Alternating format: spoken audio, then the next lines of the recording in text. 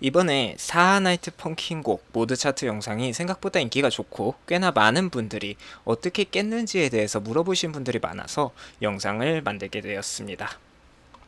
여기에는 세 가지 전제가 들어가는데요. 첫째로 저는 어렸을 때 꽤 오랜 시간 바이올린을 했었습니다. 따라서 악보를 외우는 거에 굉장히 익숙합니다.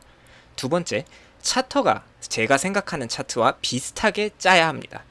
예시로 인터로프 같은 경우에는 제가 SF5로 깬 것도 있긴 하지만 제가 생각한 타이밍이랑 많이 달라서 판정이 많이 안 나왔어요. 셋째로는 차트 편집기에 들어가줘야 합니다. 사실 저는 mod chart를 그렇게 좋아하진 않아요. 외우는 것도 굉장히 귀찮고 무엇보다 프나펑 mod chart들은 joke mod가 많아서 재밌다기보다는 그냥 클리어를 어떻게 하면 어려울지 고민하게 되는 gimmick이 많아서 별로 좋아하진 않습니다. 자, 본격적으로 설명을 들어가겠습니다. 일단 차트를 전체적으로 보고 같은 부분이 반복되는 곳을 찾습니다. 이번 차트의 경우 총 노트는 long note 콤보 포함 422고 완전히 같은 부분은 두 부분이 있습니다.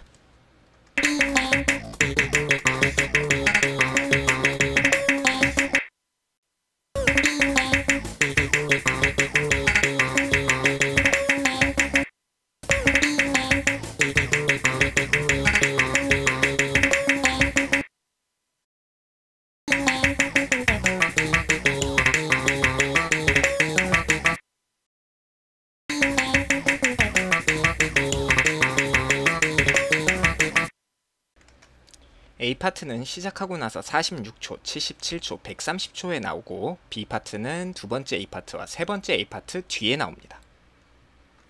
A파트는 34콤보, B파트는 33콤보가 올라갑니다. 따라서 422콤보 중 168콤보는 저 두 패턴의 반복이라는 거죠. 나머지 254콤보는 악보화 합니다. 왼쪽부터 도, 레, 미, 파라고 생각을 하고 오직 도레미파로만 이루어진 노래를 외운다는 느낌으로 외웁니다. 그리고 그 사이에 A파트와 B파트를 끼워 넣습니다. 나머지는 연습입니다. 4화 모드 같은 경우에는 2시간 정도 걸렸고 외워질 때까지 계속 반복하면 됩니다. 이 방법이 정답이라는 건 절대 아니에요. 뭐 이 방법으로 외우면 잘 외워진다 이런 것도 아니고요. 저 같은 경우에는 바이올린을 했던 경험을 접목시켜서 해봤더니 굉장히 잘 외워져서 쓰는 거고요. 따라하라기보다는 이런 식으로도 체보를 볼 수 있구나 정도로 봐주시면 좋겠습니다. 그럼 다음 영상까지 stay tuned.